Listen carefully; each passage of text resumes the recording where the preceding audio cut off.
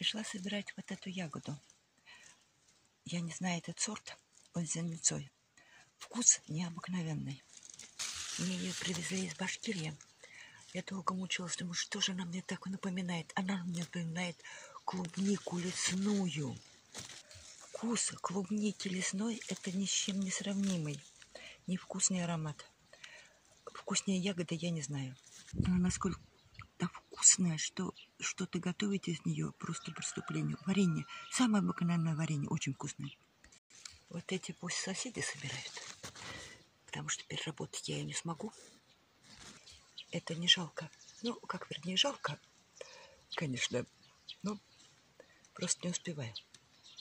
Может, потому что мне ее привезли из Башкирии. Это сорт уже без названия, его передавали из рук в руки. Он, наверное, потерян, потому что я не нашла подобные. Здесь, в Тверской области, она не встречается. Да я вообще ее редко где вижу, эту клубнику. Она на Кавказе, а в Крыму, ну, вкус башкирский не сравнит. Это все равно, что сравнивать мед с башкирским медом. Причем мед не тот, который привезли и продают, а тот, который настоящий. Тот сорт я берегу, он неприхотливый, усов дает много, разрастается прекрасно лет 10 назад привезли. В это же время я очень просила привезти мне вот эту клубнику лесную. Вот ее листочки отличаются. Ну, вот эти два листочка. Они более мягкие, пушистые. Она растет по лугам, по опушкам леса. Запах от нее стоит. Это что-то необыкновенное. Но сколько я ее не пыталась развести здесь, почва, наверное, не подходит, она у нас не плодоносит. Вот. Потом бросила это занятие. Вот тут осталось кусочки. Надо будет еще раз попробовать почитать, как ее можно развести. С этой клубникой связаны такие воспоминания детства, что просто сейчас как нахлынуло. Еще ее называют земляника мускатная. У нее резкий-резкий мускатный вкус и запах. Еще называют дикая земляника. И она, земляника, она снимается без, чаш, это, без чашелистника, а это с этим, с чашелистником. И варенье часто варили прям с этими листочками. Во-первых, них пользы много, и вкус по-другому получается. Вот в лесной это польза огромная. Там и сердце, и щитовидка, в общем, и листья, и корни.